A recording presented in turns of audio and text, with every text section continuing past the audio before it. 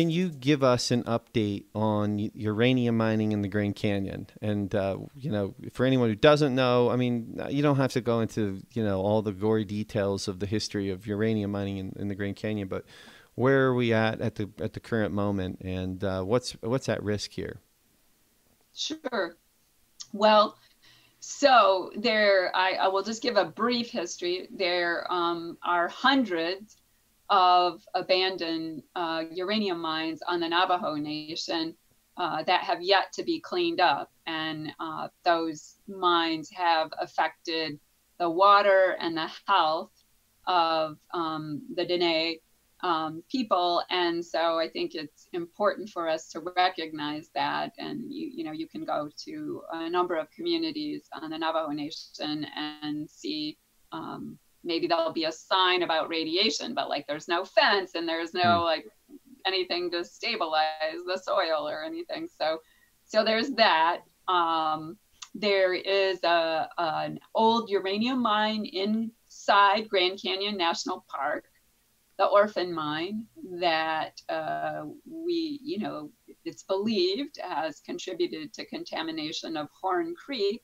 which has a warning on it. If you're a hiker, don't drink the water um, unless you know you're in danger of, of dying, you know, from mm-hmm. um, dehydration.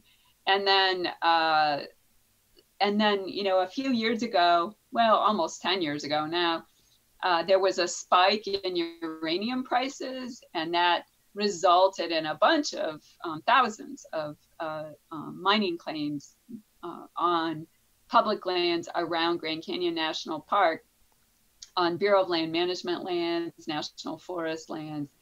And uh, because of that, we were very concerned about um, the impact to the area. And uh, there was a, a, proposal to withdraw those lands, protect them from mining uh, for 20 years, uh, the maximum that they could do as an administrative action. And that um, that was adopted under the Obama administration. Uh, Secretary of the Department of Interior Salazar, uh, um, uh, you know, issued that uh, withdrawal. It was challenged by the mining companies, um, but was upheld in court as um, as a, as constitutional, as a legitimate um, way to protect the land we have been concerned ever since Donald Trump was um, elected uh, president that this administration would reverse that withdrawal. And we're still concerned about it. There are many things that they're doing that could open it up.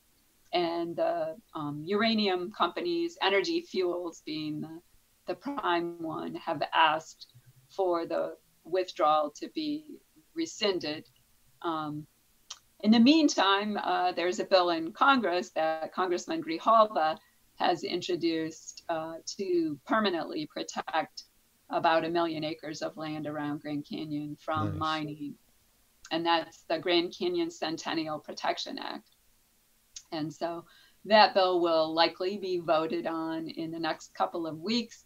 And we are hoping that Senator um, Sinema would introduce it in the Senate. Uh, we really need a Senate champion, and mm-hmm. so that um, and and that would be very beneficial. And you know, then we wouldn't have to worry about uh, the you know whatever administration was there. It'd be much harder anyway to to reverse course.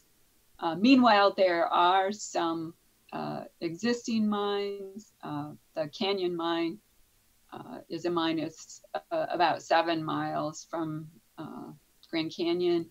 And it is in an area, a traditional cultural property area of um, Red Butte um, region on the Kaibab National Forest.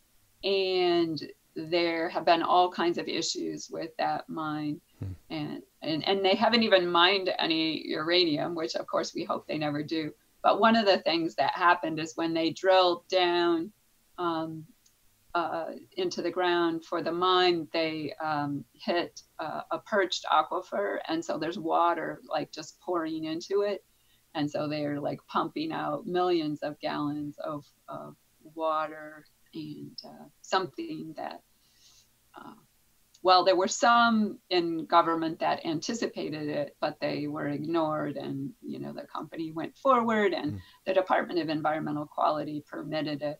So we've asked the Department of Environmental Quality to um, to basically not allow them to go forward with their current permit and to instead permit a you know a closure permit uh, tell them that you know they can't really go forward with this without risking the aquifer